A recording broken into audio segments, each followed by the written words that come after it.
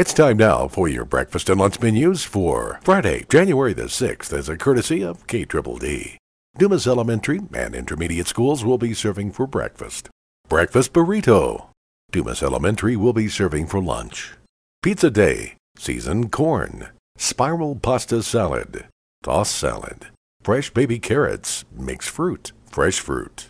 Dumas High School and Junior High will be serving for breakfast. Homemade burritos, cinnamon Texas toast, assorted cereals, and toast.